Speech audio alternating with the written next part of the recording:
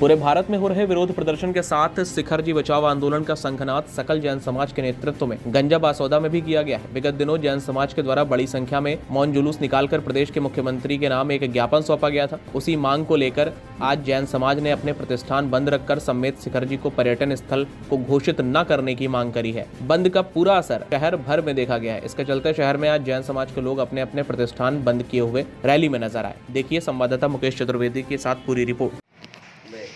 सम्मानीय सकल जैन समाज के बंधुवर चूँकि भारत बंद अभी तक किसी भी अधिकृत संस्था द्वारा नहीं किया गया था लेकिन आज परम पूज एक सौ आठ निर्यापक पूज मुनि पुंगव श्री सुधा सागर जी महाराज द्वारा ललितपुर में प्रवचन के माध्यम से ये कहा गया कि अगर जैन समाज के किसी भी बच्चे द्वारा अगर बंद का आह्वान किया है तो हमें उसको स्वीकारना चाहिए।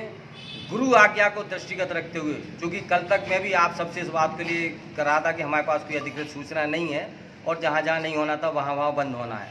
लेकिन पूज गुरुवर की आज्ञा को गुरु आज्ञा को हम शिरोधार्य मानते हुए गुरु आज्ञा का पालन करें। और मेरी भी दुकान जो खुल गई थी ये मैंने सबसे पहले अपनी दुकान बंद की इसके बाद आप सबसे विनम्र आग्रह करते हैं कि आज पूज गुरु आज्ञा को दृष्टिगत रखते हुए आज अपने अपने प्रतिष्ठान बंद रखें। धन्यवाद सत्य